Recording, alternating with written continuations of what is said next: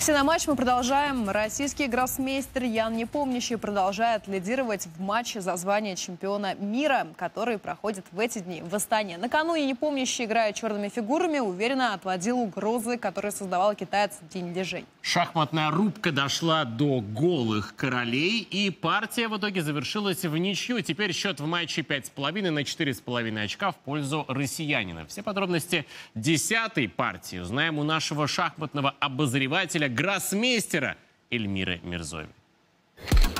Ян Непомнящий обычно появляется на игровой сцене первым. Чтобы настроить свои фигуры, это ежедневный ритуал матча в Астане.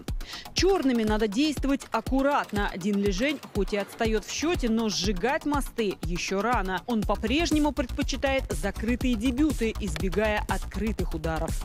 Ну, сегодня большая честь, конечно, участвовать э, в таком грандиозном событии с атмосферой э, значит, матча на первенство мира. Ну, небольшое мероприятие в плане возможности показать свои навыки. Уникальные навыки Тимура Гореева хорошо известны. Гроссмейстеру из Узбекистана принадлежит мировой рекорд. Он провел сеанс одновременной игры вслепую на 48 досках. Играет, не глядя на фигуры, Гореев уже больше 10 лет. Во время выступления в Астане к рекордам не стремился. После большого перерыва нужно восстанавливать форму. На протяжении сеанса вслепую есть возможность э, поддержать форму, поддержать кровообращение. Тимур Гореев из 15 партий выиграл 14.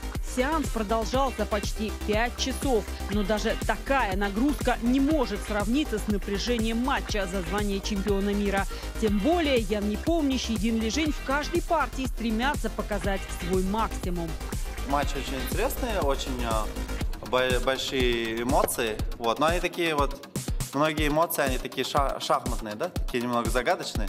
В десятой партии Дин Лежень выбрал английское начало. Ян Непомнящий возразил редким ходом – слоном, а затем нестандартно защитил пешку – королем.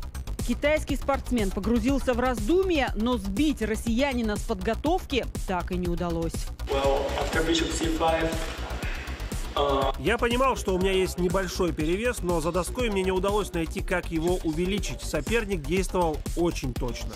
Вариант, он довольно довольно часто применяется, в том числе, мне кажется, мой соперник его неоднократно играл. А, вот. А то, что после слон c5 э, задумался, ну, слон c5 довольно редкий ход, мне кажется, его на высоком уровне еще не играли. Вот. Но э, ход, ну, на мой взгляд, интересный, да, то есть попытка сразу решить проблемы форсировать игру.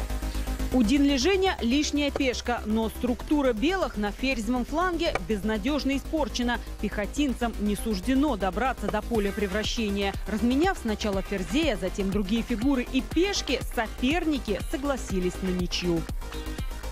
Затишьем перед бурей. Похоже, претенденты на звание чемпиона мира решили немного сбавить обороты.